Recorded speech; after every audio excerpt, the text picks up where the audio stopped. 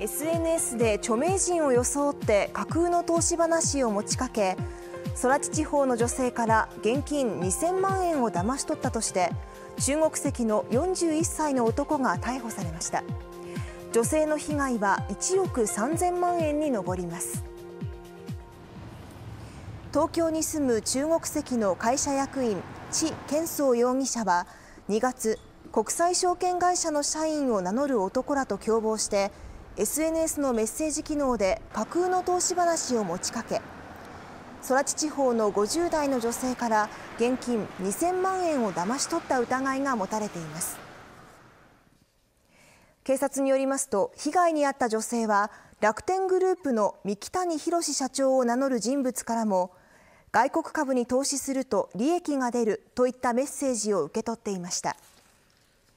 銀行振込や現金の手渡しは19回にわたり女性の被害は総額で1億3000万円に上ります。著名人を装った SNS 型投資詐欺事件の逮捕は道内では初めてで警察がグループの全容解明を進めています。